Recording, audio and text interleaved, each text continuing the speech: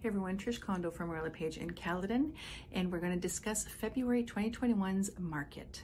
So here's what's happened in February.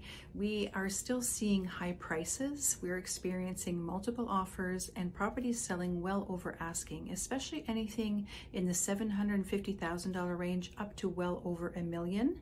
We are seeing 107% to 109% of a listing to sales ratio, meaning that those properties are selling for 7 to 9% more than the asking price.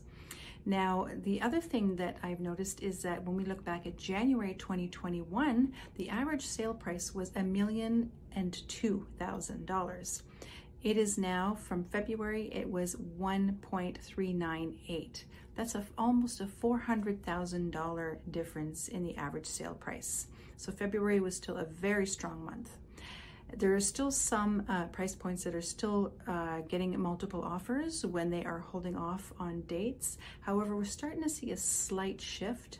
There is more inventory coming out, which is helping with this.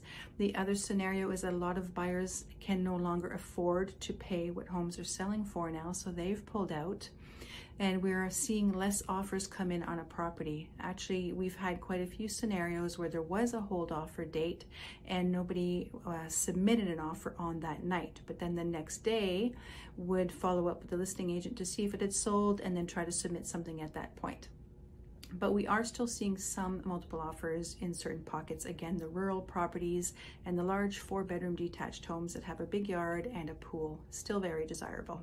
We'll see what happens moving forward. I'll keep you posted. Be sure to follow me on here so that you can stay up to date with the market.